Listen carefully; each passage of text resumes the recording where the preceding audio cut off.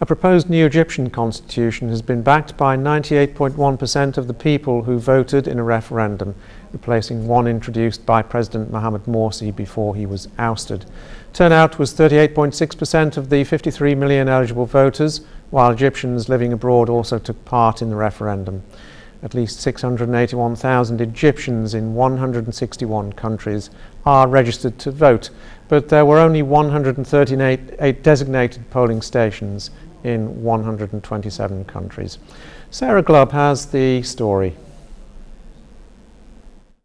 Hundreds of Egyptians celebrated throughout the country and abroad as almost everyone who cast ballots supported Egypt's new constitution in this week's referendum.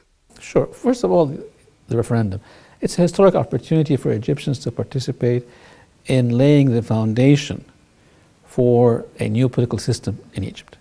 That's what we're trying to do. Constitutions are the founding documents. We will then legislate the laws uh, in different areas. But this is an important referendum, and, and that's why, frankly, I was in Paris, supposed to fly over to Kuwait. I stopped over in Cairo for five hours just to, to participate in the referendum myself, and then took on a later flight to come here. In terms of the participation, uh, this, this year we did not allow for mail order votes abroad. Uh, therefore, it was clearly going to be the case that if you don't allow for mailing vote, then those who have to go personally to an embassy or a consulate to vote, those numbers will decrease. In small countries, it's not important. But in large countries, if you're in America or in Canada or in Australia, uh, moving from one part of the country or not is, is, is a little bit more, more difficult.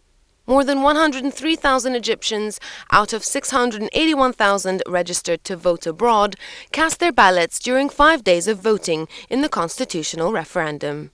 Turnout was high in the Kingdom of Saudi Arabia, the State of Kuwait, and the United Arab Emirates, while voter participation in the US and Europe was also reasonable. Egypt's ambassador to Kuwait, His Excellency Abdel Karim Suleiman, said that more than 29,000 Egyptians residing in Kuwait had cast their ballots in the referendum. So the voter turnout abroad was less in total number than in the past. But actually, the voter, voter turnout, direct voting, those who came to embassies and consulates, was higher than in the past. So if you just drop the mail order uh, the mail uh, voting, the numbers who actually went is higher.